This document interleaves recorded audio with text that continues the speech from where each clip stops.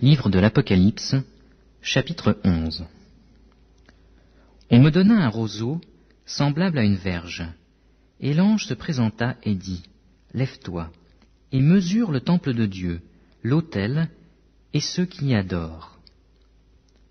Mais le parvis extérieur du temple, laisse-le en dehors et ne le mesure pas, car il a été donné aux nations, et elles fouleront au pied la ville sainte pendant quarante-deux mois. Je donnerai à mes deux témoins le pouvoir de prophétiser, revêtus de sacs, pendant mille deux cent soixante jours. Ce sont les deux oliviers et les deux chandeliers qui se tiennent devant le Seigneur de la terre. Si quelqu'un veut leur faire du mal, du feu sort de leur bouche et dévore leurs ennemis.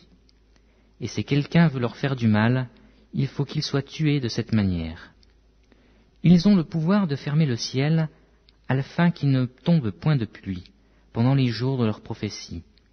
Et ils ont le pouvoir de changer les eaux en sang et de frapper la terre de toute espèce de plaie chaque fois qu'ils le voudront. Quand ils auront achevé leur témoignage, la bête qui monte de l'abîme leur fera la guerre, les vaincra et les tuera. Et leurs cadavres seront sur la place de la grande ville, qui est appelée dans un sens spirituel Sodome et Égypte, là même où leur Seigneur a été crucifié.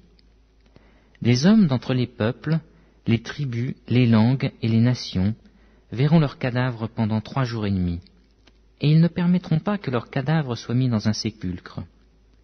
Et à cause d'eux, les habitants de la terre se réjouiront et seront dans l'allégresse, et ils s'enverront des présents les uns aux autres, parce que ces deux prophètes ont tourmenté les habitants de la terre. Après les trois jours et demi, un esprit de vie, venant de Dieu, entra en eux, et ils se tinrent sur leurs pieds, et une grande crainte s'empara de ceux qui les voyaient. Et ils entendirent du ciel une voix qui leur disait, Montez ici. Et ils montèrent au ciel dans la nuée, et leurs ennemis les virent. À cette heure-là, il y eut un grand tremblement de terre, et la dixième partie de la ville tomba.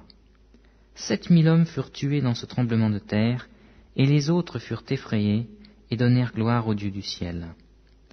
Le second malheur est passé. Voici le troisième malheur vient bientôt.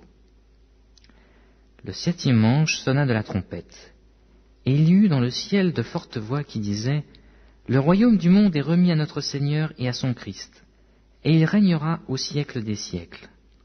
Et les vingt-quatre vieillards qui étaient assis devant Dieu sur leur trône se prosternèrent sur leurs faces, et ils adorèrent Dieu en disant Nous te rendons grâce, Seigneur Dieu Tout-Puissant, qui est et qui était et qui sera, de ce que tu as saisi ta grande puissance et pris possession de ton règne.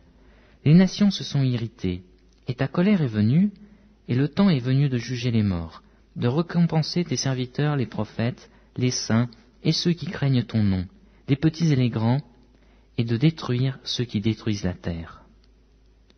Et le temple de Dieu dans le ciel fut ouvert, et l'arche de son alliance apparut dans son temple il y eut des éclairs, des voix, des tonnerres, un tremblement de terre et une forte grêle.